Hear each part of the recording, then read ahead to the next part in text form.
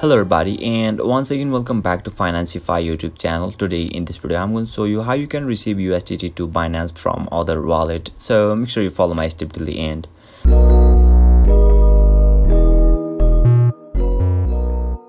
First thing first, I assume that you have already downloaded the Binance app and now once you open it and yeah, make sure you are already logged in as well. And now right after that you will be able to see the interface or dashboard of the Binance apps on in the screen where you can see there is a wallets option which is distinguishable by its wallet icons on in the screen which is at the bottom right corner of this dashboard.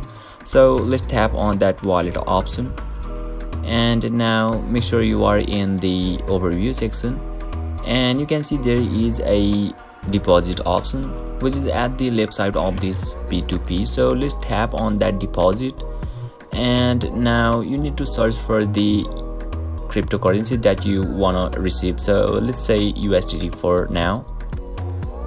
And now you need to choose a network. So let's say BNB Smart Chain which is BEP20 shown in the screen. So once you tap on it you will be redirected to the another section where you can see there is a deposit address shown in the screen. So you simply need to copy this deposit address. And yeah you need to paste it to the other wallets and you will be able to receive USDT successfully. So basically this is how you can receive USDT to Binance from other wallet. And if you still encounter any issue during this process feel free to leave a comment and I'll be happy to assist you.